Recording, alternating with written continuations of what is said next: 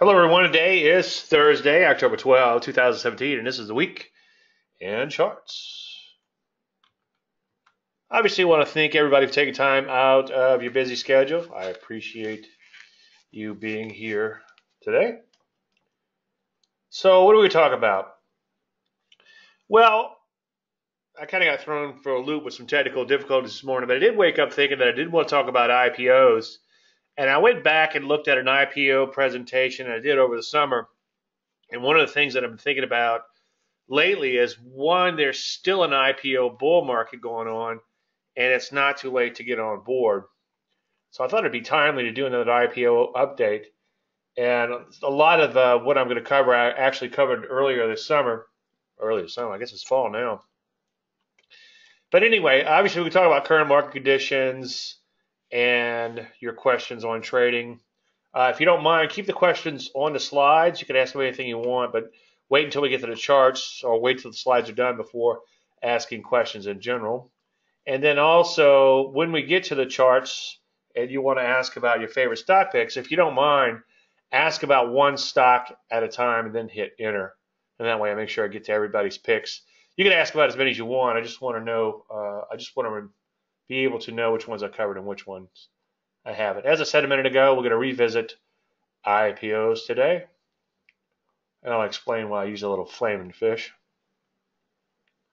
I guess before we do all that, there's a disclaimer screen. As you know, you can lose money trading, or as I'll have to sum it up, all predictions are about the future, and a lot of stuff can happen between now and then. All right, so this is going to be like IPOs revisited times two. One of the really cool things about IPOs is they either go up or they don't. They either work or they don't. And I was saying the wrong guy here. was it Will Rogers once said? Yeah, Will Rogers. He said, uh, buy stocks that go up. If they don't go up, don't buy them. Well, obviously, he was being a little tongue in cheek. But with IPOs, you can almost do that. In fact, I have a pattern that pretty much just does that. And I'll show you another pattern in a few minutes, another setup, which is very similar to that. And one of the things that I found really interesting is that the significant new high or low is often set during the first week of trading. And what's even more interesting is a lot of times the first day will set the tone for the IPO.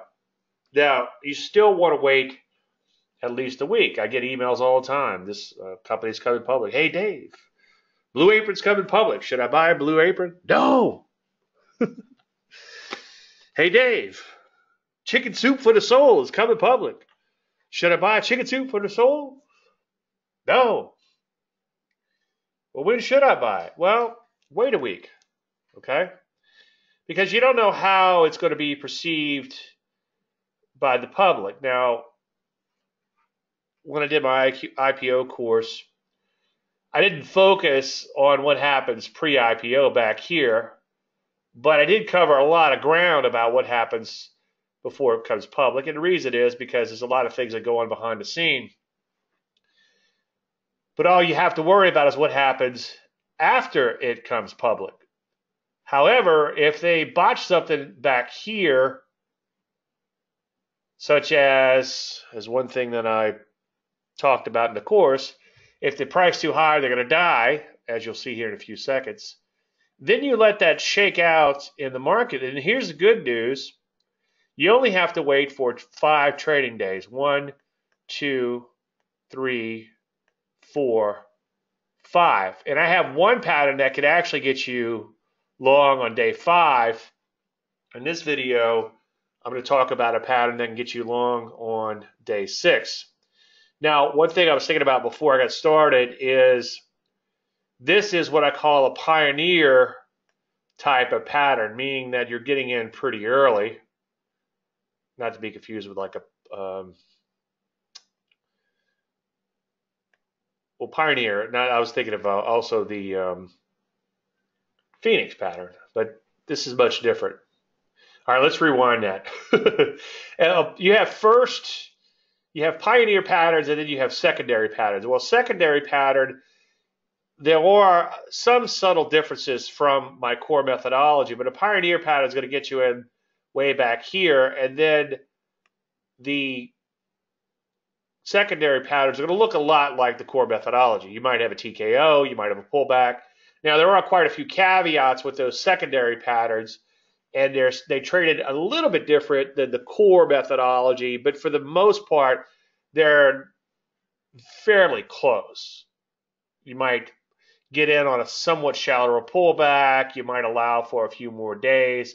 In other words, you're a little bit more lenient in these secondary patterns. But what we're talking about now is pioneer patterns. Now, this the Dave Light, or whatever we're going to call this IPO pattern, we'll show you in a minute, does have some longer term characteristics too, which can kind of dovetail in with that secondary thing. But we'll get to that in just one second. And by the way, to those of you who haven't been to a single one of my IPO presentations, the reason I use the little sardine dates back to the old sardine story, and I'll try to sum that up as quickly as possible so your eyes don't glaze over for those who are here live. But the sardine story basically was sardines became very expensive, and, and there's variations of the story throughout the internet. So poke around a little bit and pick whatever version you like the best. But sardines were being traded, and these little tins were becoming very valuable and becoming extremely expensive. And one guy decides, well, you know what, I'm going to have me a very expensive lunch. And so he opens up the sardines, and they were rotten he contacts the guy who sold it to him and said, You silly fool, why did you eat those sardines? Those are for trading, not eating. So IPOs are for trading, not eating. And then I go into a lot more details on this, but a lot of times they'll take off, they'll fly, and then they'll die. That's probably the most common longer term pattern with IPOs. The beauty is this fly portion can be very, very, very significant. It happened fairly quickly, but unfortunately, it eventually ends badly. I'm in one now that might end badly, and we might get to that if we have time. But so what? You know, it's like I was like, wow, I gave up a lot of open profits on that, but I looked, it's like, well, shoot, so still going to make over 100%, so it's better than poke in the eye. But there's a great dichotomy, and, and that's something that's that's that's gotten even better lately. It seems like they really either work or they really either don't. And as I said a second ago, part of the problem is with the ones that just come public and die, look like that, is they price too high and then they die. And we'll take a look at a few of those in just one second. In fact, let's do that now. So here's some examples that I showed earlier this year. This is PK. You can see day one, and it never did take out that day one high. So what do we just say? Usually within the first five days of, tra- of trading, you have a significant high or a significant low. So take a look at like UPL here. Also, day one, major high. Then what happened? It actually imploded from there. Now here's one on day two. It looks like it was really off to the races. Makes its high on day two. And then what happens? It implodes. Where'd my pen go? Here we go. Now, again, what did I just say? Five days, okay? So in this particular example, day one, day two, day three, day four, and then it never sees that high again.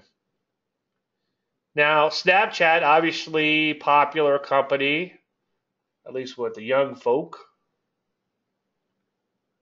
You can see that it looked like it was off to a pretty good start. Day one, day two, and then that was it. It crapped out.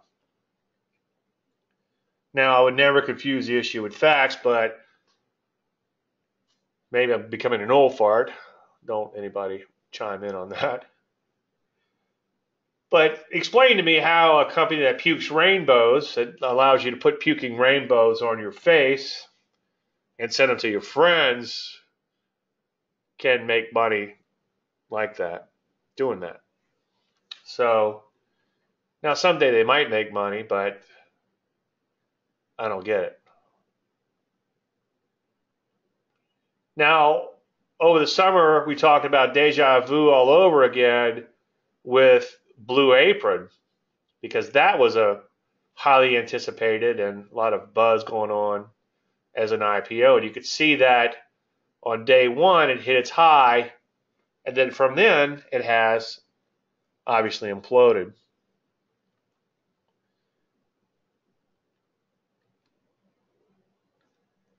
Take a look at SWCH. This is a more recent one. Notice that day one so far, it's hit its new high. So at the least, do not trade this IPO unless it can trade above the high of, let's say, it was at 24 and a half or so.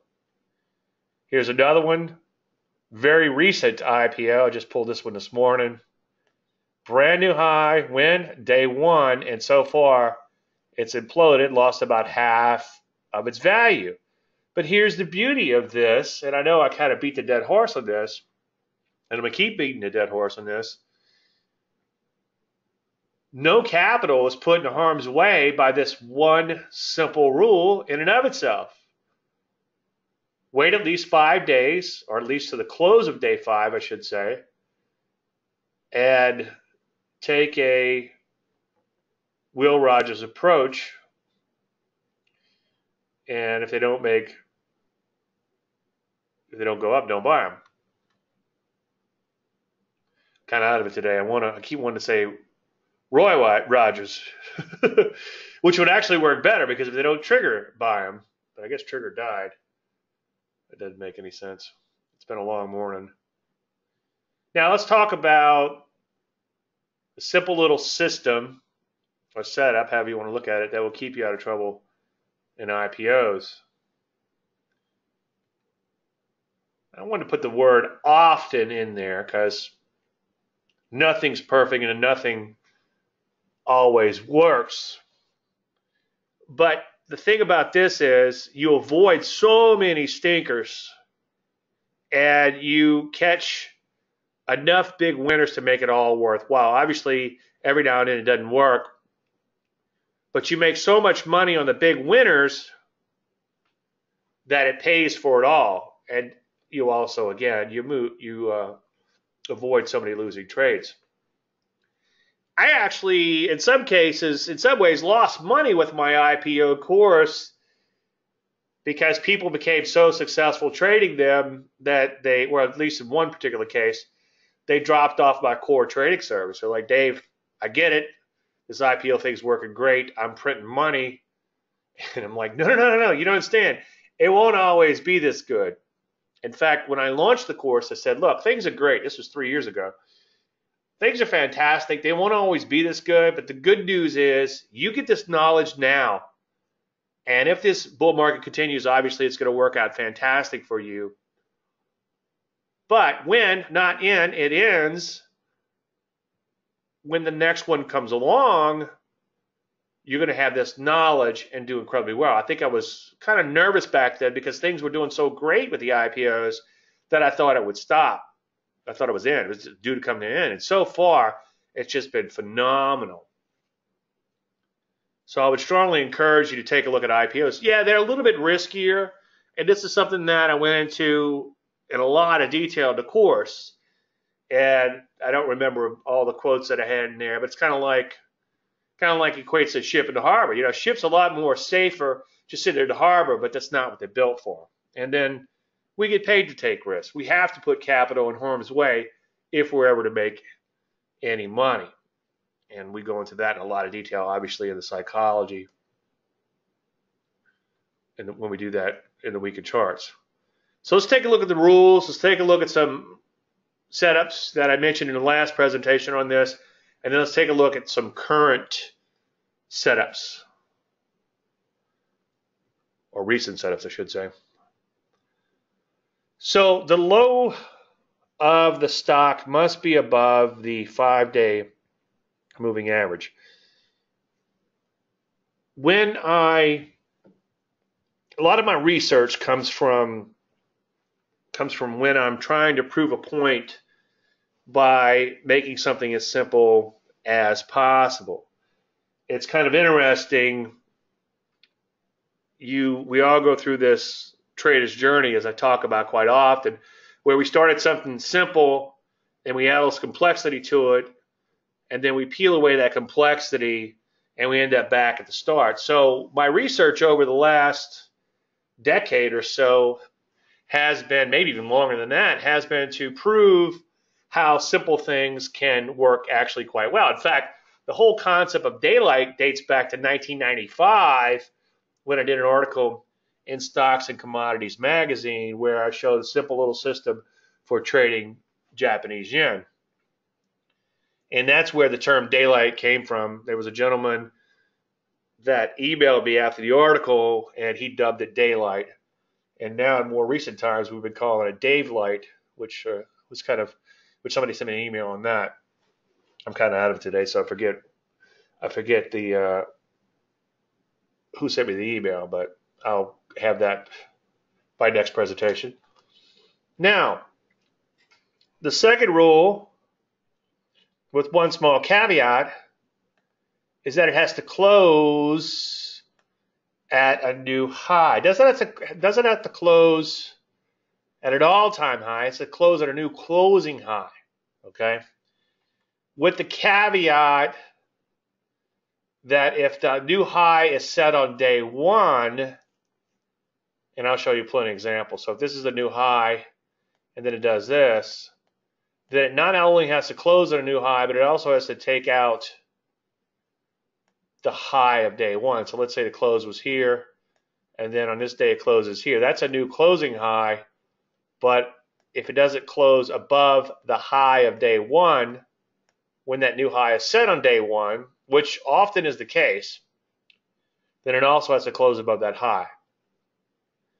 So here's an example. I wrote an article a while back. You can find it on my website where you could see that here it closed at a new high and then the low was greater than the moving average. That's a whole system. And it's actually a buy on close system. So you do have to pay attention. Now, you don't have to watch a screen all day, but you do have to going in say, okay, this this one's getting close looks like it could close at a new high. So you got to come in on the close, near the close, I should say, and you have to buy on the close. Now, I've done a lot of research for like the next open, and they, it does seem to show some promise. But ideally, you want to get in on the close of that day. So it's like if you miss the trade in the close of that day, all all hope is not lost. The next day, it might be worthy of trading.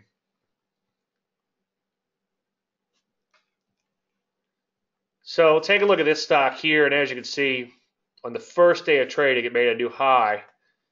So we have to take out that new high on a close, as we did here, and then there has to be also daylight. But right here, on this day here, there was a daylight. Let me just take this out. But if you squint your eyes really hard, you can see there is daylight. In other words, the moving average looks like that, and the low is right here. There's daylight, or as we call it in more recent times, Dave light.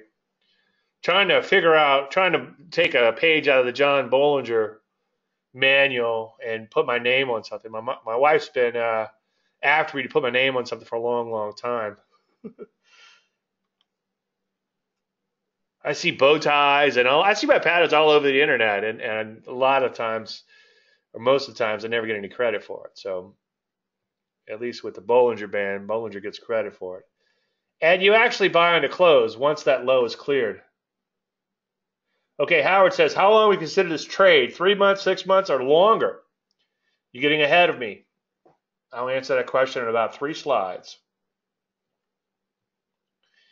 So let's take a look at another example.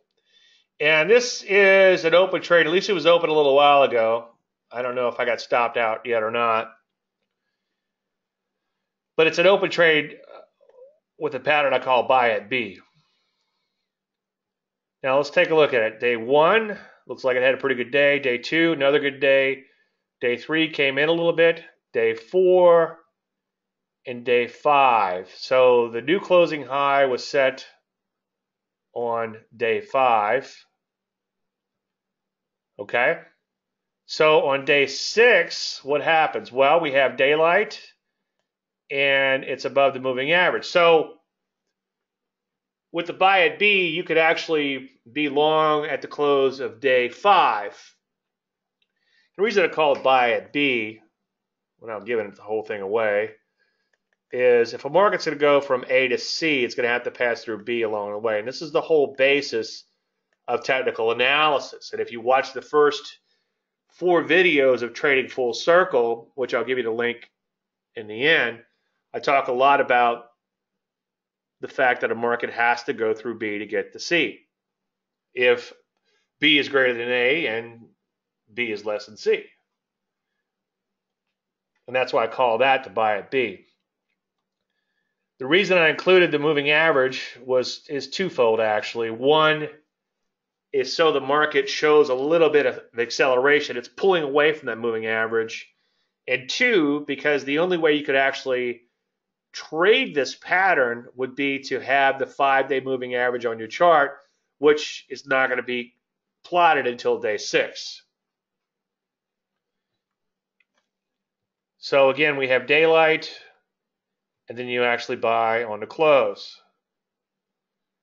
Now, you don't have to watch the screen all day. You only have to come in near the close and see what happens.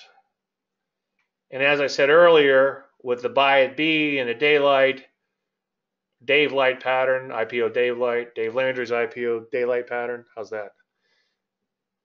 The new, the next open does show promise too. So if you miss the trade, the next open might make it worthwhile. The only problem with the next open is obviously if the market just keeps on going, you, you could get in much higher. The second problem is it could, from a psychological standpoint, put you in a position of making additional decisions. So let's say it opens a point lower the next day.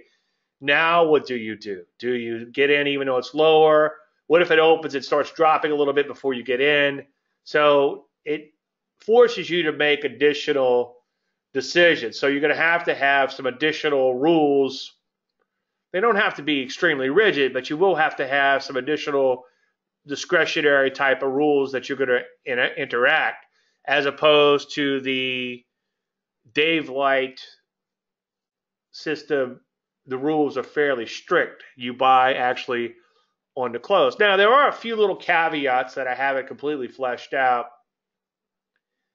and it's kind of the same thing with the buy at B, is that you want you do want to have a little bit of range in the IPO. You don't want to have an IPO come public, have a very narrow range, so you don't want to have it come public, do this. And this is a really tight range over the first four or five days. You want it to show that it has some promise or some excitement, maybe run up big or run down big, whatever the case may be. But you want to show that it's it's there's some excitement behind it, and it just doesn't come public and flatline. If it does flatline like this, then you're better off waiting for one of these secondary type of patterns.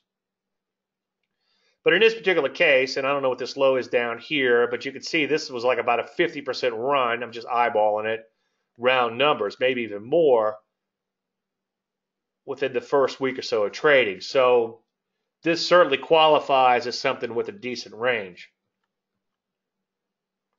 Now, Howard's asking, how long will you consider this trade? Three months, six months, or longer? Well, there's some interesting long term promise here. And it usually takes me a while to incorporate something into my trading.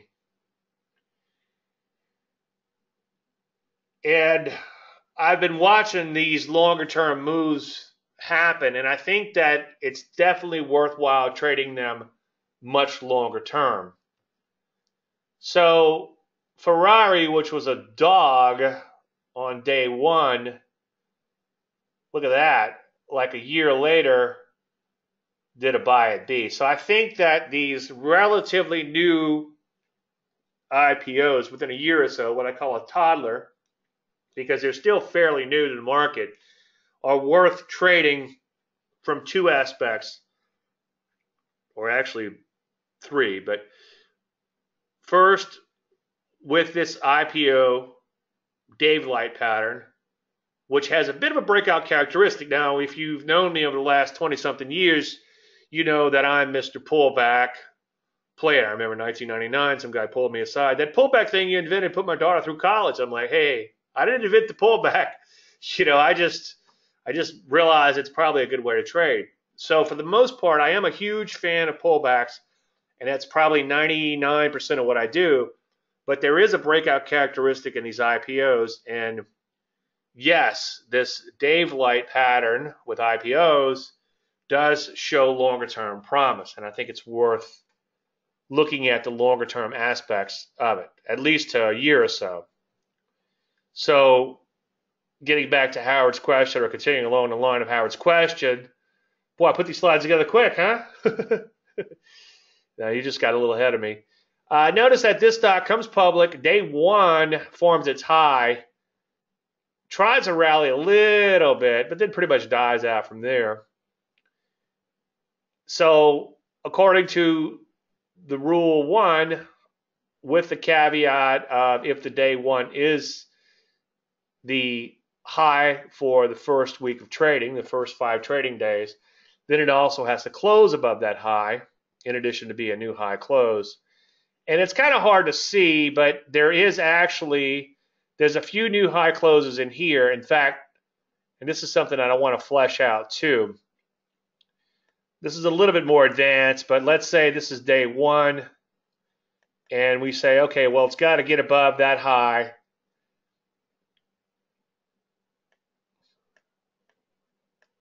One, two, three, four, five. Let's say the new closing high for the first week is right here, but the high is set on day one. So what's our rule? We not only have to close at a new closing high, which would be right here, we also have to close above the prior high, which would also be here. Now, this is where it gets a little tricky. The second rule is the price also has to be above the moving average. So let's say it closes here, but it doesn't close above the moving average. So now we have a new closing high. So this resets itself to where this is the high that has to be taken out now. So hopefully that made sense. So you can see on this day here, let me erase all this. On this day here, it made a new closing high. Now that's another pattern, but it's not technically a Dave Light IPO until this particular day here. And it also we forget about this day now because it resets itself to this new closing high is the one we're looking at. Okay, does that make sense? It still has to be a new closing high.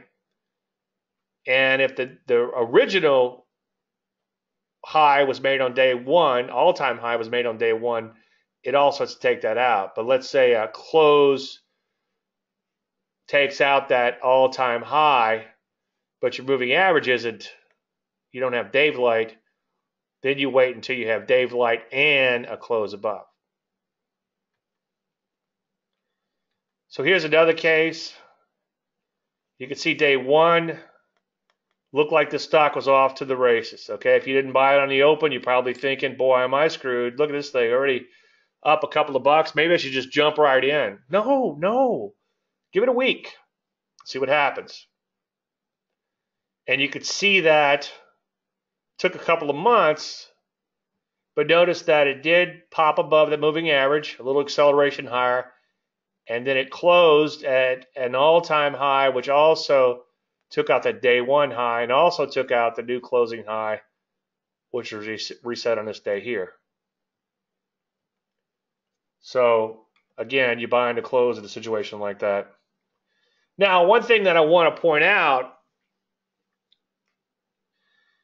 is that money management is crucial, and I kind of beat the dead horse on that in the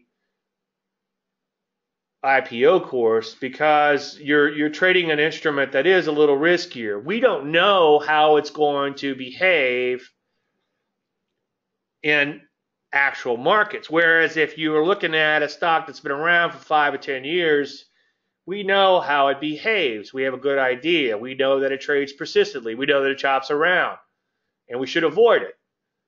We know that it's accelerating higher in addition to persistent move that we maybe we want to be in this stock because it's a good looking stock. You don't have all that with IPOs. But the beauty of it is, and this is why I called the course the promise of the future, is they trade off a promise. And again, a lot of times you have that fly and die because everybody's so excited about it. Everybody rushes in, and that promise may not materialize, and then they implode. And that's why, as I preach throughout the course, you have to have a chair ready for when the music stops. IPOs really aren't risky if you understand what you're getting into. The reward is really worth it, just like I make the case quite often for trading more volatile stocks. And if you go in and dig through my YouTubes, if you can stay up at night, just don't operate heavy machinery afterwards,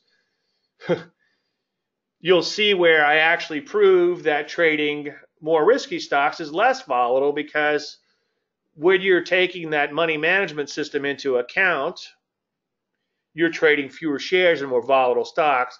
And it's kind of like you're better off knowing it's it's the devil you know type of situation. And if you look at the free reports on my website, if it ever comes back up, davelandry.com slash free reports, you'll see that I do have a report where I talked about trading more volatile stocks and more inefficient type of markets. And that's where we're looking to capitalize on is an inefficiency. And that's the beauty. It's like, yes, I will trade more efficient markets like Forex and now Bitcoin, but your biggest opportunities are going to be in your more inefficient markets, and IPOs certainly qualify. But again, just know not to beat the dead horse, which I've never been accused of. it drives my wife nuts. Short trip. Is that an, what is that an outside thought? Thank God she didn't come to my shows, huh? All right, here's a case where day five is right here. And then it did close at a new closing high on day six but the low wasn't greater than the than the um, moving average. There was no daylight. But you can see here clearly you have daylight, so it would be a buy on the close. Now, I keep mentioning the course, the promise of the future. This is the URL for that, davelandry.com slash IPOs. And once I work out a couple technical difficulties, I had a certificate expire today. I wasn't aware you had to renew them. So I had an SSL certificate to uh, expired. So that's why the, the site is down now. I'm just waiting for the DNS to propagate. Uh, I'll put that on sale once the website gets back up. And so maybe look for that tomorrow, October 13, and check it out.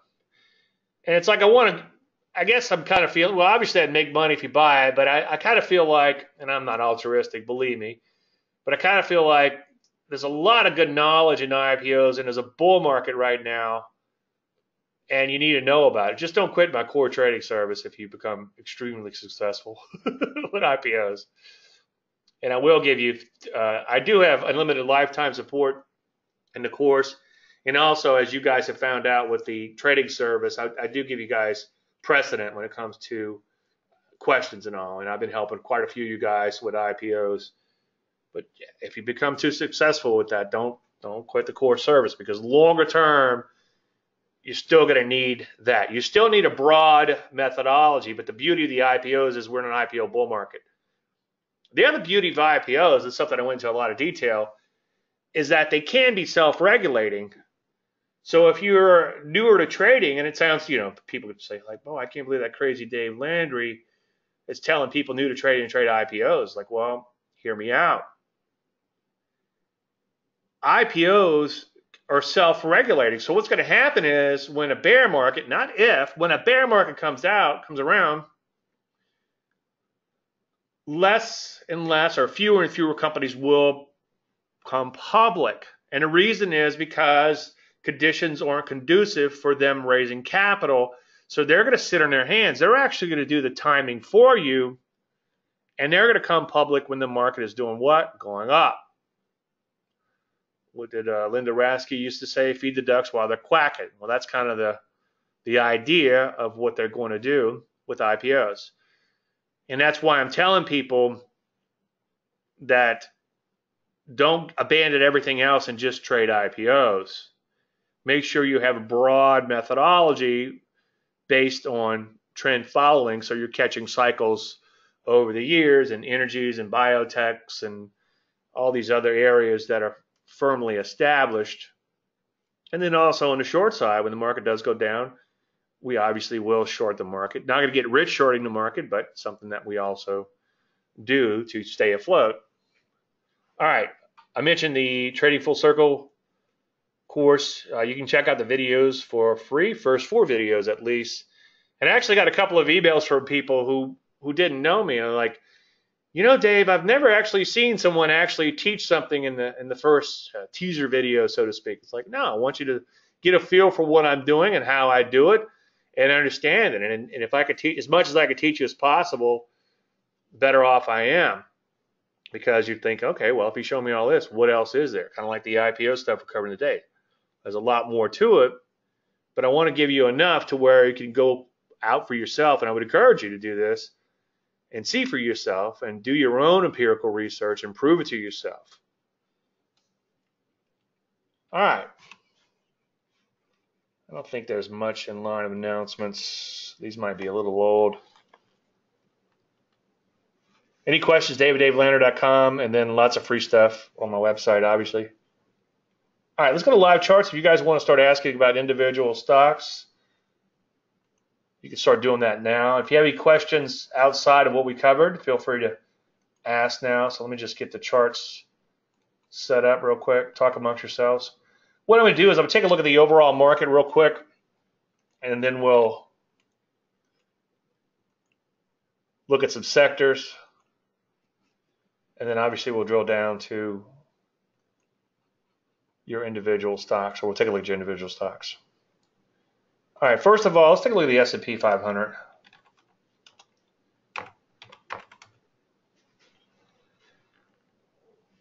One thing that I often preach about is persistency. And mathematically, persistency is equivalent to linear regression. But you know me, I like to keep things simple. So let's just put a linear regression line over the line I just drew and you can see it's pretty darn close. In fact, if I'd have drawn the line a little higher, they'd be exact. So let's erase those for a second. Now, again, mathematically, it's equivalent to linear regression, but I just like to draw a line through as many bars as possible. And you can see I'm intersecting most all of these bars. And then the ones that I'm not intersecting have daylight above this little line, okay? And if you, by the way, if you do think about the definition of a trend line drawn through the bars, it is mathematically equivalent to linear regression because you're trying that, that bar that fits, okay? So just by drawing that line through the bars, if you actually did the math on it and did it mechanically with the math, it would come out to pretty much the same as intersecting all those bars. Hopefully that makes sense.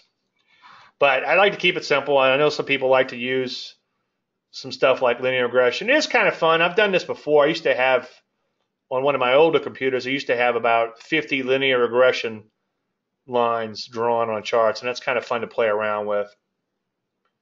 But you know, just keep coming, just come back to drawing your big blue arrows in the process.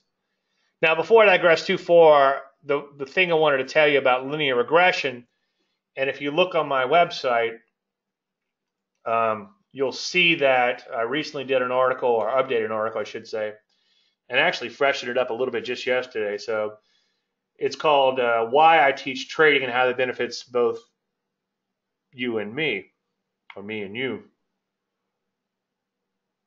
And one of the things I talked about was being in front of a huge screen. In one case, I was in Italy, and it's like the bars were bigger than me, and I'm pretty big. That's why I have the nickname Big Dave. But seeing those huge bars, it's like it really jumps out at you on a chart. The patterns are just like, wow, it's just amazing. And one thing that I noticed was that I'm always preaching 20 days of persistency for something like a persistent pullback. But what amazed me, especially looking at something like a transitional pattern when a market's coming off a major low, is that short-term persistency could be very, very, very, very powerful. Now, I'm no longer a short, short, short-term trader, and I no, I no longer do any programming, mechanically testing. But I do think that would be some fodder for research if somebody wants to go poke around a little bit. Look for short-term persistency in the market, and then figure out a way to hop on board that short-term persistency. Maybe it could be as simple as just buy on after so many days of persistency. You know, I mean, it would take some money management and a few other things, but it's just amazing how powerful that is. So we have this very persistent move higher in the S&P 500, and it's just really really cool. And if you get bored, go back in time and look at persistent moves like back here, as you can see in the S&P 500, back here. You know, you can see that some decent legs resulted after these short-term persistent moves. Now, before I forget, we're right at these all-time highs. I guess we have to go up a point or two today, or close a point or two higher to keep us there, or to put us back there.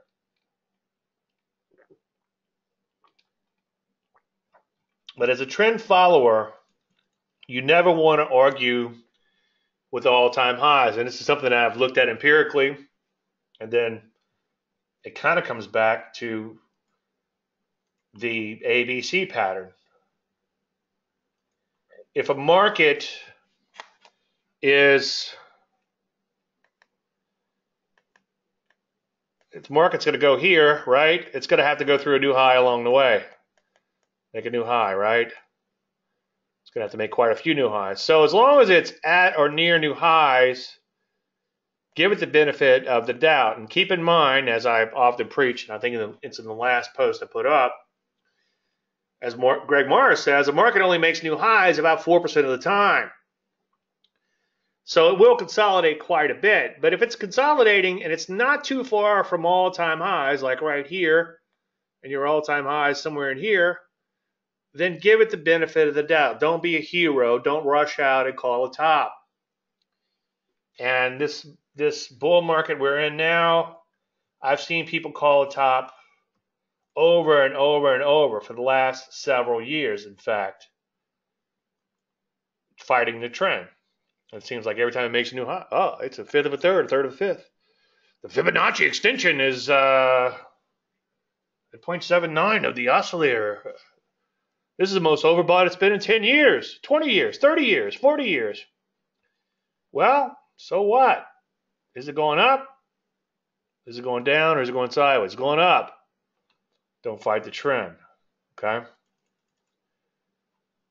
So again, we weren't too far from new highs right here. We made new highs here. Now we're making new highs or just off of new highs here. So if you're at or near new highs, err on the side of the longer term trend.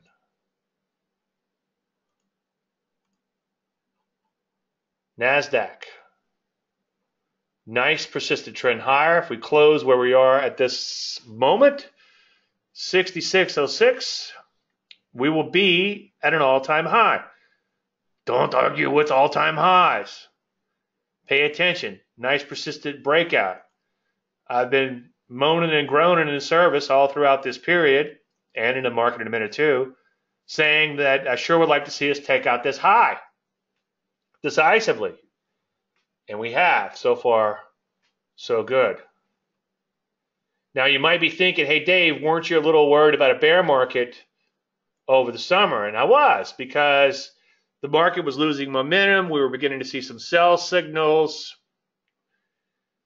And it was probably time to pull in your horns a little bit, especially since the Russell 2000 bow tied down after going sideways for about a year. Now, we didn't go crazy bearish. In fact, the only short that we took actually happened once the market turned back up, just because we will take a setup in and of itself if we think it's worth taking. Of course, it failed miserably, but that's okay. We get paid to put capital in harm's way. And the reason I did the presentations, the winter is coming presentations was because I wanted to get ahead of it. It's kind of like the IPO thing. It's like, okay, well, let me get this course out here out there before the IPO bull market ends. And luckily and fortunately, I know you should never say luck in this business, but fortunately, it's lasted for an extra three years. And then getting back to the winter is coming, it's like at least want to show you what the signals look like. So when you see them again, and when they happen on a weekly basis, if you want to be extra careful, wait for that weekly confirmation on the downside before feeling like you're in a bear market or a potential bear market. At least you know what to look for. Now, take a look at the Russell. As you can see, Russell has, as I've been saying in the market in a minute and in the trading service, it has this flag look to it. And let's see if I can take the chart out if I forget which one it is.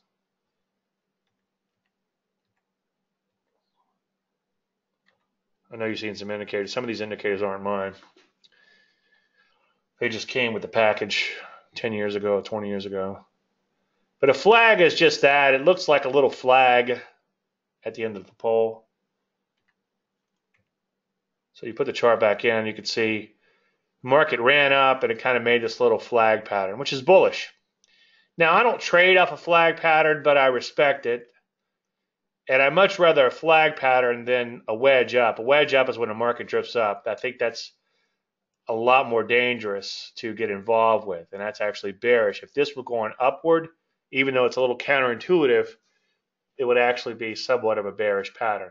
Not that the market can't go higher after an upward wedge like that, it's just it's a lot of it's it's like the last of the buyers are coming in is what's happening.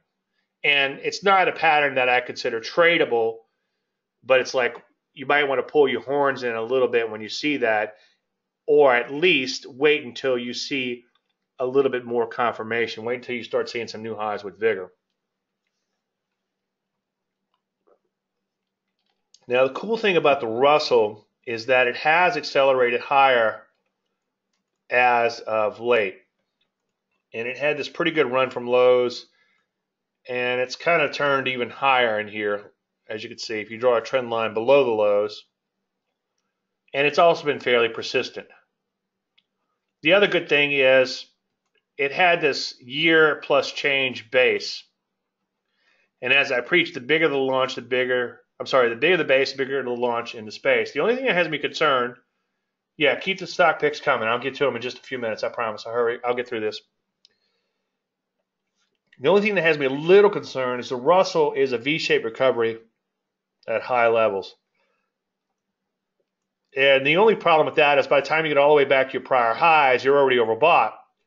But so far, so good, and it's really behaving very nicely now.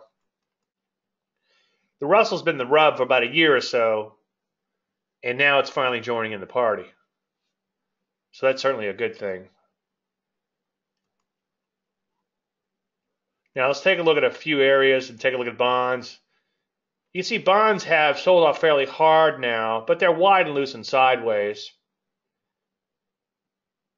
So there's nothing to do there, but I do like to pay attention to bonds on occasion just because the market looks at everything, or you need to look at everything when it comes to markets and factor it in. So Right now, it looks like bonds are in a little bit of trouble. Probably a bow tie down, if I had to guess. Yeah, a little sloppy, but it's there. Gap down recently, so that means rates are rising. Not the end of the world. As long as they rise in a fairly orderly manner and don't just go skyrocket up, I think we'll be okay. And the absolute rates is not what's most important. You can't say, well, if it's above 5% or 4% or what is it? Was it now 1%? If it goes to 2%, then the market's to sell off.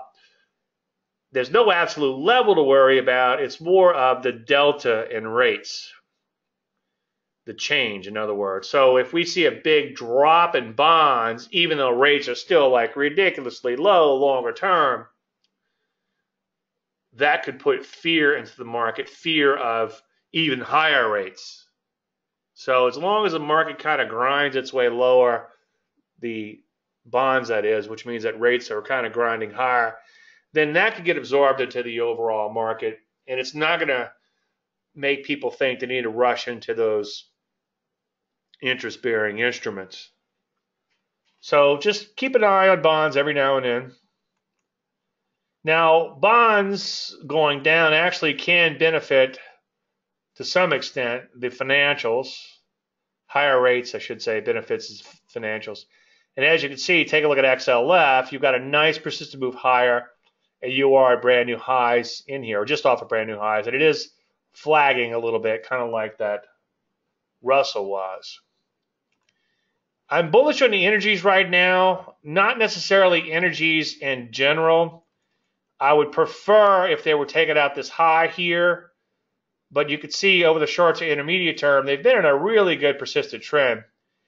And where I'm finding my opportunities is in stocks that are at low levels, coming off of low levels, and forming these transitional patterns. So I like the energies right now. I especially like them because there are stocks that are, as I said, coming off these major lows, and I think they have a long way to go. And if they go back to their old highs, we're talking about three, four hundred percent moves or more in some cases. So I think the huge potential exists there, and hopefully, I know I just said hope, but hopefully, on some of these, a year from now, I'm going to be showing them as longer term trend following money management type examples.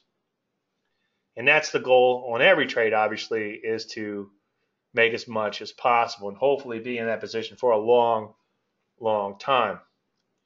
Now, metals and mining are getting a little bit questionable in here, so I'm not a huge fan of going after these guys right now. I'd actually like to see new highs here. There's enough other stuff out there that's worthwhile, as you would expect, with the market at new highs or near new highs to go after. Most areas banging out new highs. Take a look at the semis. There's that persistency thing I talked about. In fact, look at this. I'm just kind of noticing it. and This is another one of why I teach things because it helps me to see even better. But notice how persistent this little move was when it broke out. And that was only a few days. And then pulls back. Nice little thrust higher. Nice persistent thrust higher. If it closes where it is now, all time highs. Oh, correction, 16 year highs. Close enough for government work. Most technology areas, again, looking pretty good at or near new highs. You can see software banging out new highs today. The list goes on and on. I won't bore you and go through all of them. Too late. What's interesting is the transports have been very persistent also. I think that's the word of the day, persistent. Let's get some tequila, have a shot every time I say persistent, right? I could use a tequila today. was it airplane? Picked the wrong. I picked the wrong week to give up sniffing glue. But you can see nice persistent move higher in transports, banging on new highs. We close up here. Obviously, we're going to be at new highs today, so that's a good thing. I don't require any sector to confirm what I'm seeing in the overall market. I look at everything transports, semis, financials, the list goes on and on, everything, right? Some people think the financials should dovetail in. That's called Dow theory. Not a big fan of that, but I can't argue with the fact that, okay, I get it. If the transports are making new highs, that's certainly a good thing. So I factor that into my analysis. Drugs are kind of hanging around their old highs. They are drifting a little bit. This is that little bit of a wedge problem I talked about earlier that a little bit concerned, but not enough to rush out and short them. The good news here is you take a look at biotech and biotech did just the opposite. They kind of drifted lower. So right now I'm bullish on the biotechs. And I'm liking the more speculative issues. I'm liking the IPO type of issues in biotech. Stuff like the AKCA, which I do have a position in. That's that looks pretty darn good. So quite a few issues there that are worth going after. And I think that's some big. I think there's some big opportunities there. Now, all isn't great in the world. There are some areas that look a little questionable, like health services, which imploded a few days ago. I wouldn't rush out and short these guys. And I wouldn't dump all the ones that you may own, or if you own any, I wouldn't dump them, I should say. But I'd be a little cautious there's so many other areas that are looking so great right now, offering up so much opportunities. This is the biggest my Landry list, my personal watch list has been probably in two or three years. And there's been a long, a lot of times where I've been boring to clients to death by saying, "Look, guys, I've got these one or two to look at. I'm not doing anything. I don't think you should do anything." And right now, it's kind of like I like this one and I like this one, and these are going to be our official setups. But hey, if you're looking for something else to do, take a look at this oil service, take a look at this biotech, take a look at this other stock. So there's a lot of opportunity out there right now. And there, there have been times where it's not like this. Market's chopping around, and everybody comes to the show and they're like, "You don't like anything. You like Mikey." And they'll ask about a stock. Like, "Don't like it." I guess I could talk about that one, James. Let's go ahead and open up for individual stocks. This was uh, this was mentioned as an honorable mention. Again, an ancillary setup in my trading service uh, yesterday, or day before, I should say, as a TKO. And yes, I like it. Uh, I would enter above this high here, whatever that is, and then your stop goes in below the low, traded in kind of a textbook fashion, maybe like 2015, and then low stop goes in below the low, and then do the math on that, which is four points round numbers and that would be your initial profit target. Okay. Entry minus stop, initial profit target, add that to your entry, and then trail your stop one for one on the first, or on when you first get into position, and after you get that initial profit target, let that stop widen out. That's pretty much the whole system, by the way. Donna wants to talk about ARLZ. That sounds like an IPO.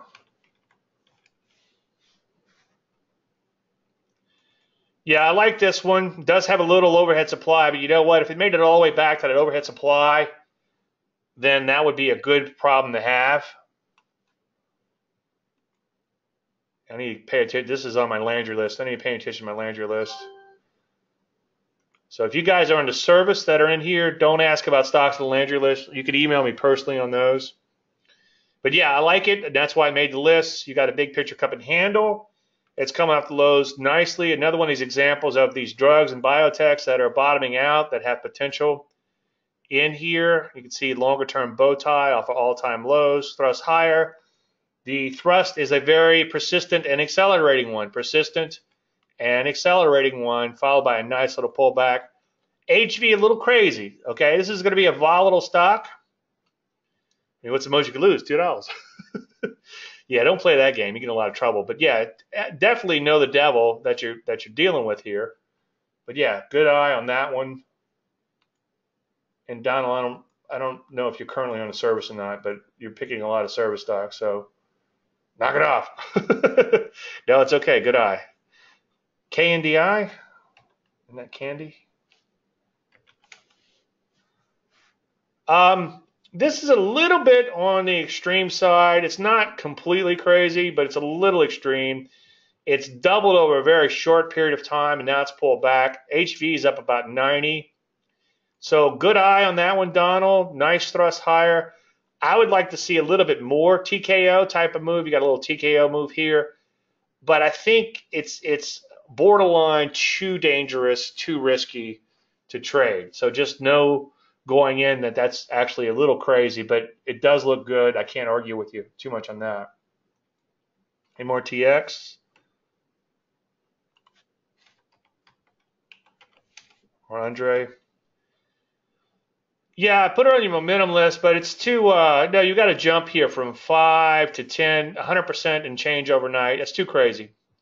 HV is 201, so don't put that in your momentum list. It's too, uh, it's too wild and crazy even by Big Dave standards. Z Lab for Howard.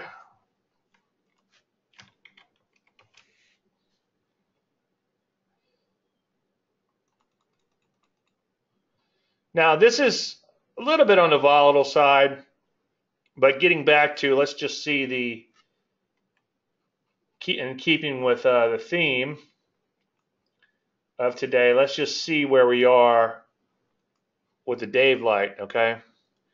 This is day one. Obviously, this is day two.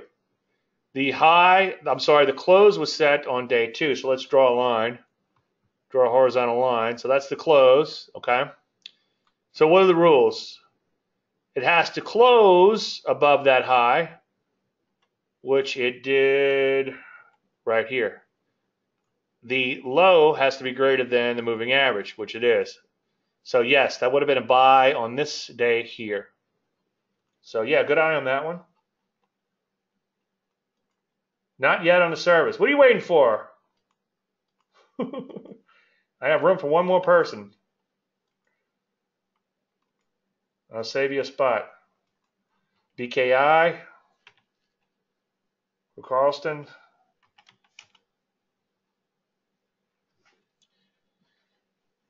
Now, this is a much higher price issue, and yes, it did make a buy. Uh, I'm sorry, a Daylight buy. I, I would not buy it because the range isn't really that great for an IPO.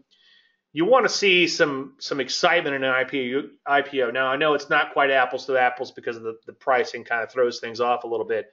But you'll notice in something like the AKCA, the aforementioned AKCA, was like a 40% move or 50% move, whatever it was, over a very short period of time. And the range on some of those other buy at B's and Daylights was 30, 40, 50%, whatever. It's that you had really good range as opposed to something that comes out and makes a very small range. So there's some excitement or at least some fear and excitement, however you want to look at it, in those IPOs that trigger the pattern or, or let me rewind that. You want to see some excitement and fear in those patterns, some volatility, so to speak. So this is only has about 10% move since it came public.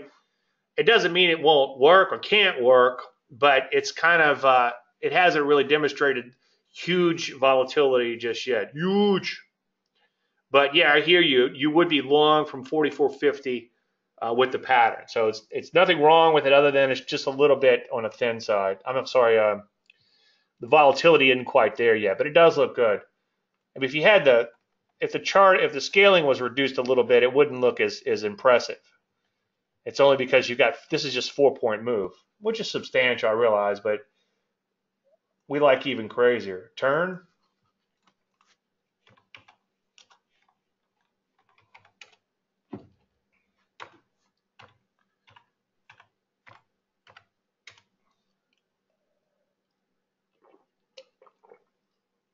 Okay, let's see what we got here. Lower price issue. Volume's fairly low, but not horribly bad. Yeah, maybe on pullbacks along the way. It's it's looks like it was kind of like a thin penny-ish type stock for quite a while. It has made quite a substantial move over the last few days. So if it could keep this up and it's not just a one or two day wonder, it did pull back. It might be worth a shot. Could you do a case study on HMNY? Okay. Be happy to. It's going to be in what? Harmony. HMNY.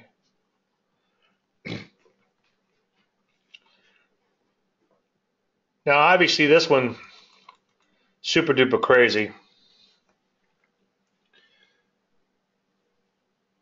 One thing, if you want to get good at reading charts, then obviously look at a lot of charts. But as I preach, you want to practice deliberate practice, okay?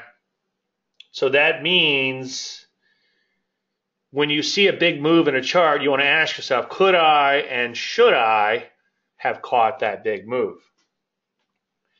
Now, this one's obviously a little crazy. You can see it shot up way back in 2016, like overnight, doubled or something. So that's just, so we know we, we're dealing with something crazy. I'm not really seeing anything that jumps out at me in this one that would have necessarily got me long, at least not right away. If it was an IPO, yes, maybe. But it kind of made these moves somewhat overnight. And if you look here, it was up at $5 a share, and within a couple days, it's down to $2 a share. So it lost like over half its value. So it's just so crazy. It's really hard to to get on board something like that and and have a setup. So as I say, unless you're uh, what's his name Weinstein, and he found out too. You know, as he painfully has discovered recently, you can't kiss all the women. You know. So sometimes you just have to let them go. In this particular case, it took off, and we really didn't have a good setup to jump on board. Now, there's been some crazy one lately where there, there have been some really good setups along the way. But this one, I really don't see it as, as one. And now it's too crazy. Even if it did set up, it would be tough. So look at the longer term personality of something and see like it's all over the place. And don't feel like you should have caught a move that looks like this. Now, if there's something blatant in it, if there's a blatant pattern, if there's like a beautiful TKO that sticks out like a sore thumb in the middle of a nice accelerating persistent uptrend and you missed it, then beat yourself up a little bit, but then get cut yourself some slack and say, okay, well I missed it, but next time I will not miss that pattern because I see it in perfect hindsight, and next time I'm going to see it when it occurs in real time.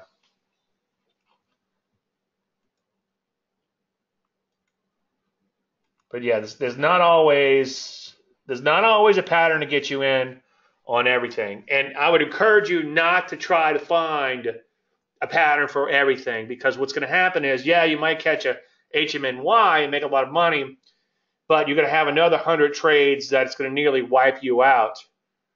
And by the time you get around to that HMNY, you'll be out of money if you trade everything.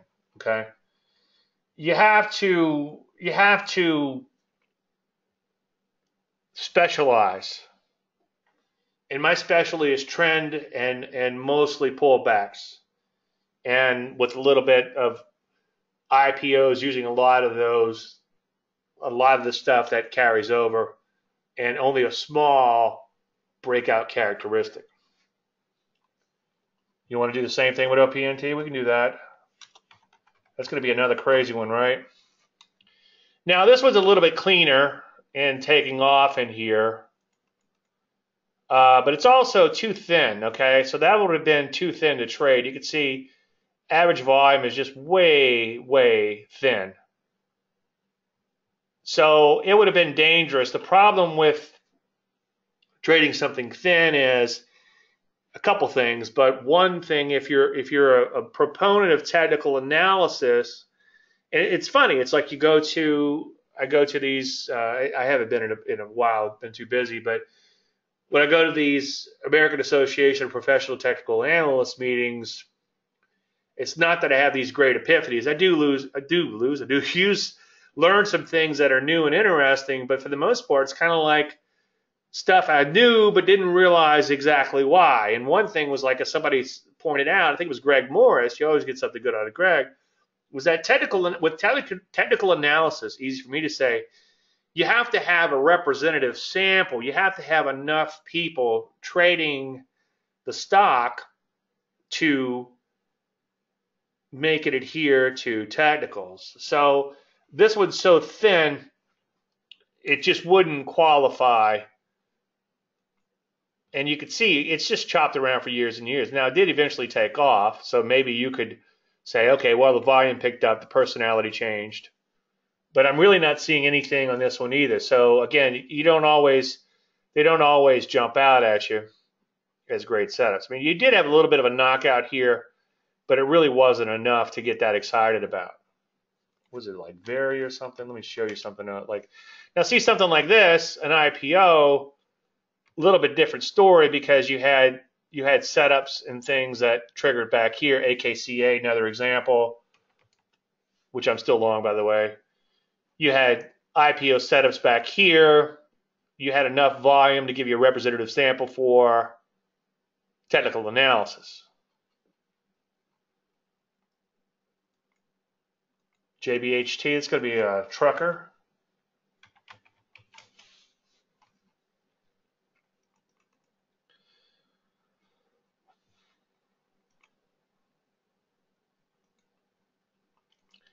It's not bad. Now, not bad doesn't equal good, but It's not bad. You could certainly do a lot worse. First thing jumps out at me, it's kind of just the opposite problem that we had with the Andre stocks. The Andre stocks tend to be HV of 500 or more. the HV is 16 on this. If you let's take a look at the spiders real quick, just to give us a representative sample. I mean, a, a baseline.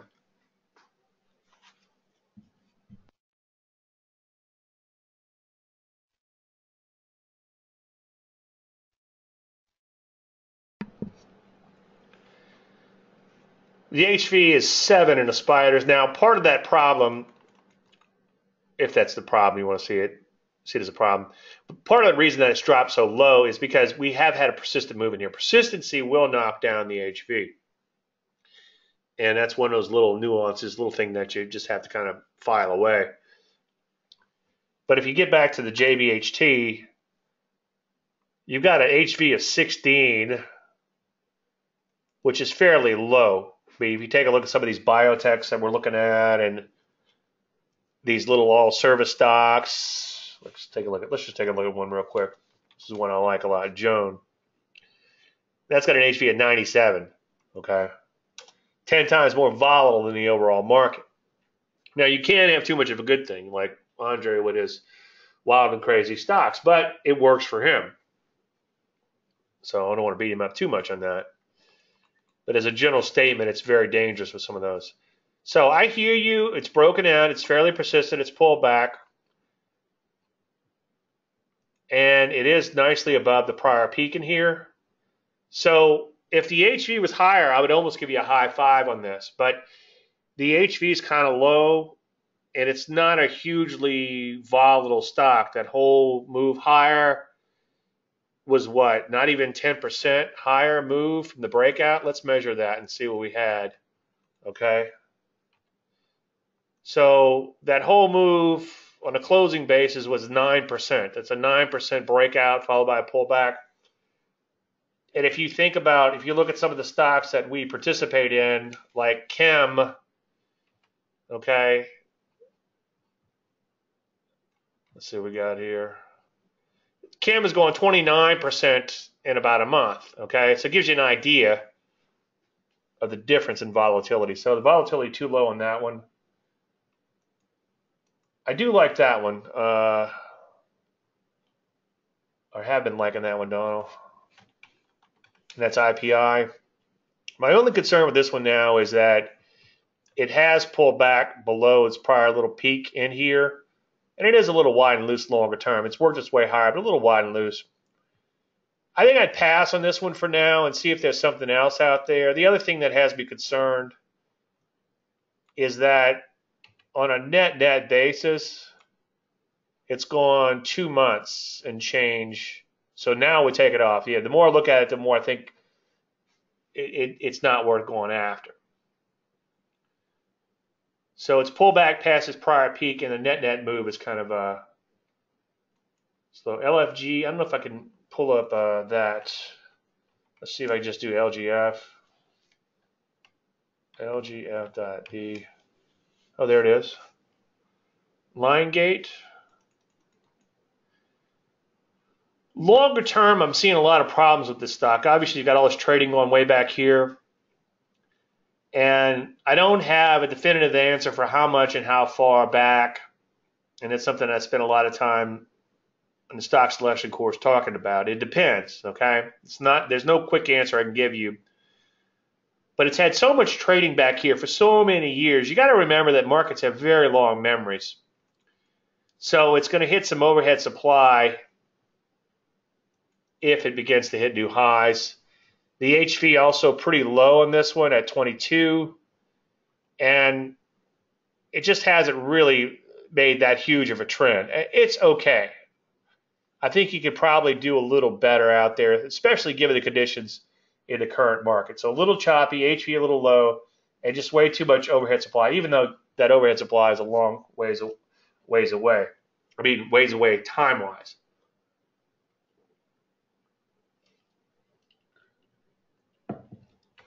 GDI. This one looks okay. I'd like to see a little bit deeper pullback. It is a little, well, it's a little thin today, but it's okay. It's got decent volume. I'd like to see a little bit deeper pullback. We must have talked about this one last week.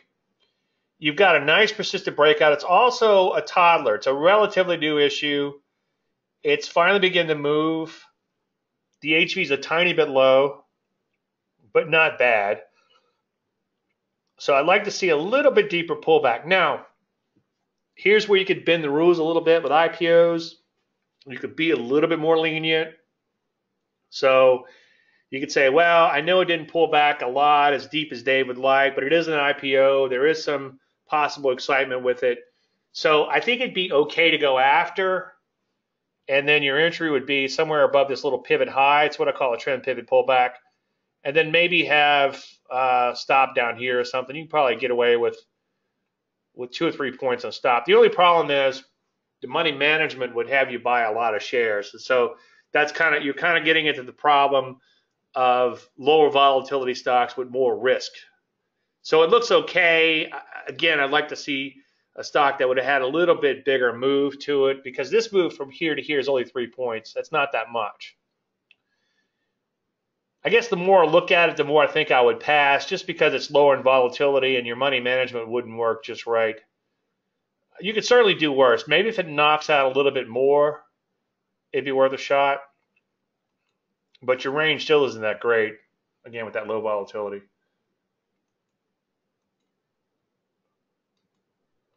DCPH on Friday. You mean tomorrow or last Friday? Yeah. Now this is this is going to be a little crazy. It's a little bit on the thin side. Let's see if we can see what the volume is on this thing. Yeah, it's got enough volume to trade, but it would be very dangerous because you don't know what the volume is. A little bit on the crazy side, but not too bad. We'll take that back. It's not it's not too bad. Um, Let's throw the moving average in and see. If you're trading a daylight, obviously you'd have to get above the moving average. Yeah, put that on your watch list. I think that's worthwhile. Little risky, but worthwhile. CETV, that's going to be like a Central American something. Central Europe. Little on the thin side, not too, too bad. Uh, yeah, I'll see if it keeps breaking out, maybe on a pullback, but not on a breakout, obviously. That's kind of crazy longer term.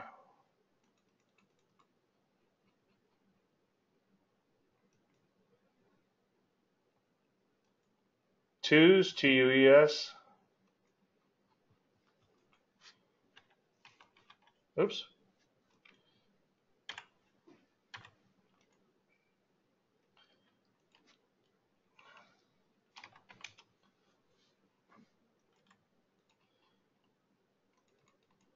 Well, the first thing jumps out at me is you have this gap here, followed by quite a bit of overhead supply.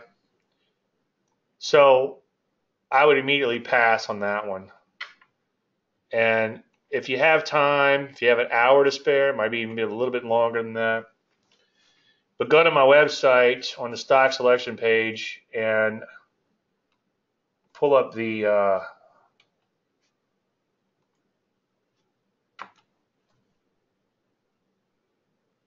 or go to the store, click on the stock selection. There's a video on the, on the stock selection page where I talk about overhead supply. There's quite a few simple things in that in that initial video, and, and that'll keep you out of a lot of trouble. The other 13 and a half hours is just details. CIFS, C-I-F-S, we talk about that one?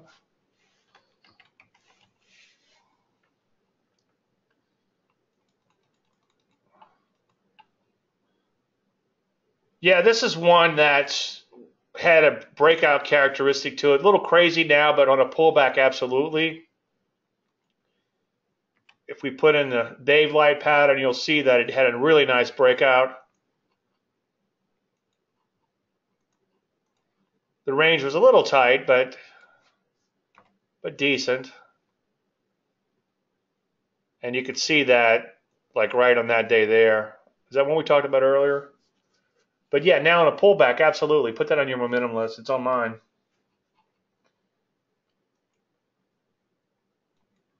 That's the other thing too. It's like there's so many opportunities out there. It's like you can't kiss all the women. It's like it kind of it's kind of painful to watch some of these opportunities take off without you. CXLT. I think you got a.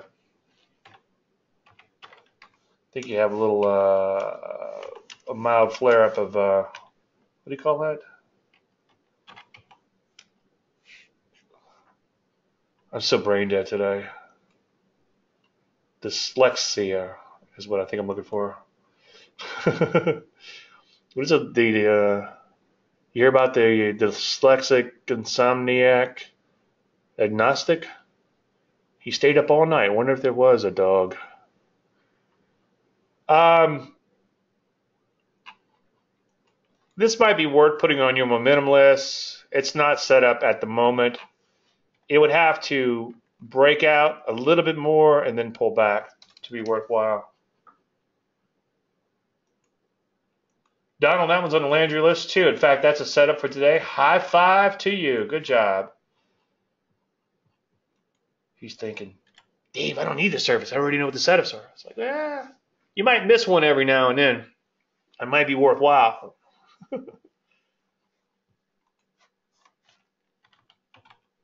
SSTI is also, oops, rewind that. That stock, whatever that stock was, not the stock I just mentioned, on the Landry list. So you caught me at a. Uh, you're getting my Landry list somewhere.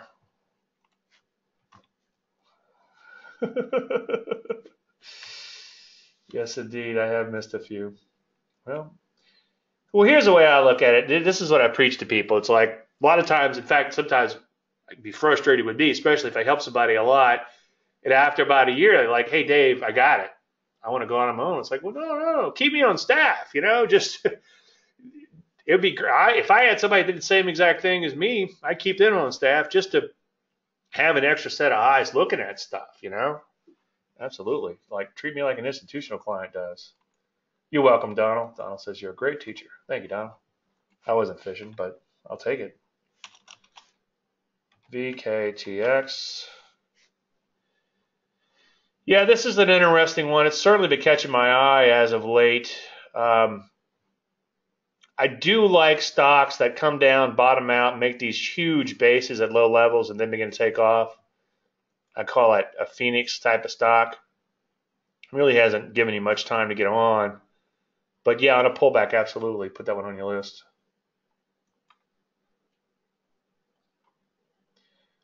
Okay, uh, looks like uh, let me give it. Uh, let me get last round here real quick. You know, I said bow tie a few weeks ago. Yeah.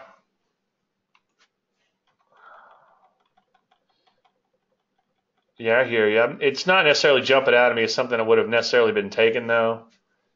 But I hear you. All right, I'm going to go ahead and wrap things up. As usual, I want to thank everybody for coming. I appreciate you taking time out of your busy schedule to be here. Anything unanswered, dave at davelandry.com. And if we don't talk to you now and then, I hope everybody has a fantastic weekend. And then hopefully I'll see all you guys and girls again next week. Thank you so much.